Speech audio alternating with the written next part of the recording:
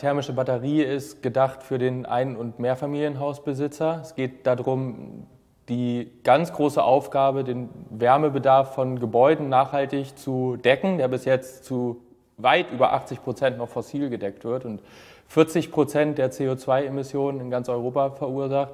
Da wollten wir ran. Und genau auf die Größe sozusagen haben wir das Produkt auch abgestimmt.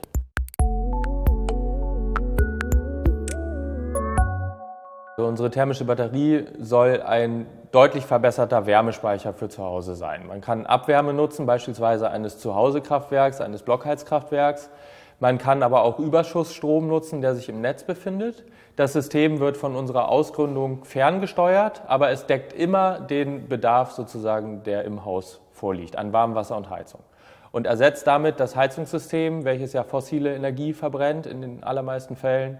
Und wir ähm, ersetzen das eben durch eine klimaneutrale Technologie, die einen systemischen Nutzen besitzt für das Stromnetz und das Energiesystem.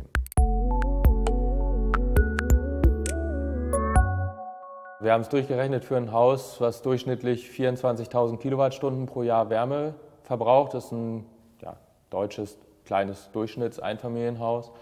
Da wären Gaskosten normalerweise von 1200 Euro pro Jahr würden anfallen und wir können die Wärme pro Jahr ungefähr 800 Euro günstiger bereitstellen, also für 400 Euro pro Jahr und haben dabei in der Investition nur geringfügig höhere Kosten als bei einer Gastherme.